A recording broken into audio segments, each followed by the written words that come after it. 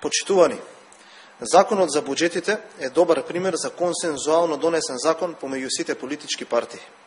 Неистиот му предходеше долг процес на дебата и консултации и истиот е еден од редките закони што е донесен со подршка на сите пратенички групи.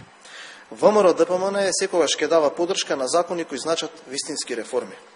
Во текот на преговорите беше истакнат фактот дека голем број на вработени го напуштаат Министерството за финансии поради ниските плати во однос на секторот финансиски дејности и дејности на осигурувањето.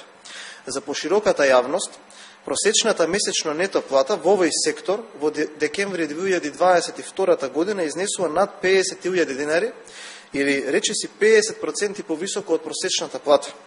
Не може да очекуваме дека квалитетен кадар ќе работи на јавните финанси за плати кои се пониски од тие што може да ги оствари во реалниот сектор.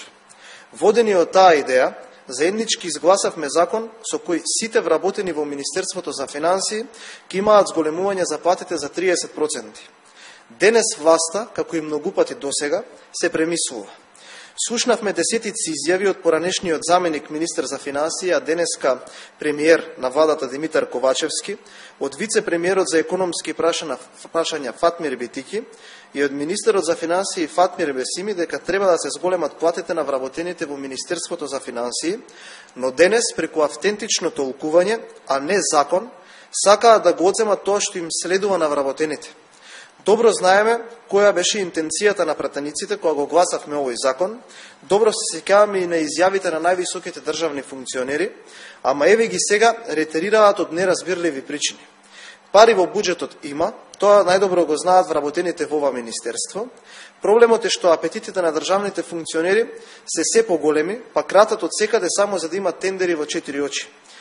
Почитувани, ВМРО ДПМН смета дека е потребно да се почитува законот за буџетите како што е донесен и сите вработени во Министерството за финансии да добијат зголемување на платите од 30%.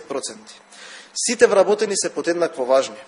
Каква ќе биде мотивацијата на вработените во секторот трезор или макроекономската политика, доколку се пошверцува ова автентично толкување?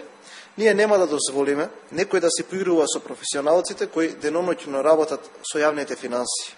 Токму затоа им порачуваме на СДСМ и ДУИ да го повлечат ова автентично толкување, а министерот да го испочитува законот што е подржан од сите пратенички групи и да им, им го исполни законското право на професионалците во Министерството за финансии, дур не заминале и тие. Ви благодарам, доколку има прашања, поведете.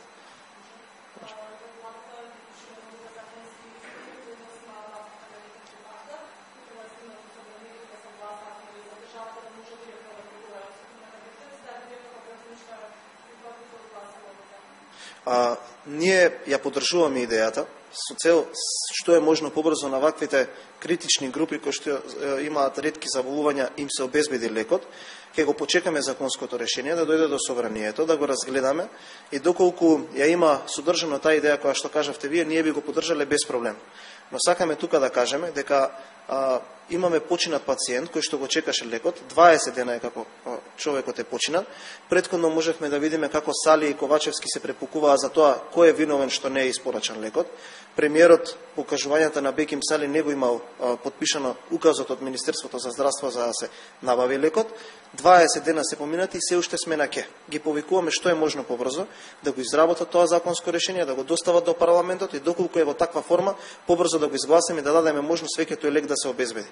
Затоа што на начинот на кој што ги даваат изјавите владините функционери, купуваат време, а сепак болните се уште го немаат добиено лекот. Ви благодарам.